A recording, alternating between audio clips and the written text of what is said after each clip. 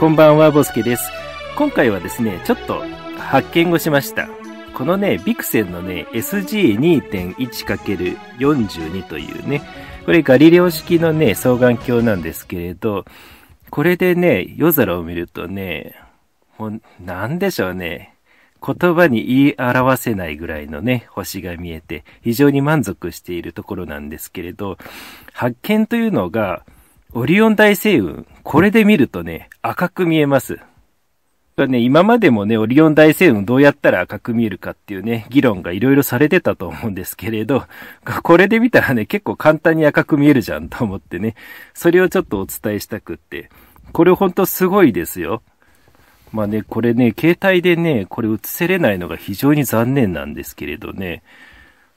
まあ人によってはね、そんなの嘘だっていう方もいるかもしれないですけれど、本当です。本当に赤く見えます、これで。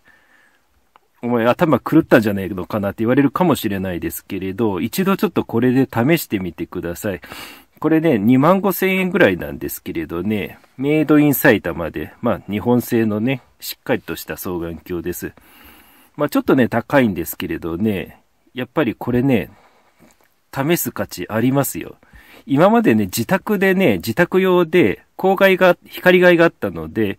その光害の中でも、まあ、魚座とかね、そういう星座を探すために、ちょっと買ったんですけれど、これをね、田舎でね、見るとね、もうほんとすごいですわ。